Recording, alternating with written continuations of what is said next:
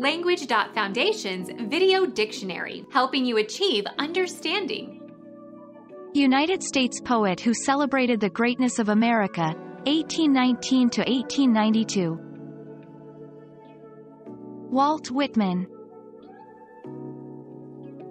United States frontier missionary who established a post in Oregon where Christianity and schooling and medicine were available to Native Americans, 1802 to 1847. Marcus Whitman Become our student and get access to effective and free educational materials. Subscribe to our channel to become a part of our growing community and to learn English effectively.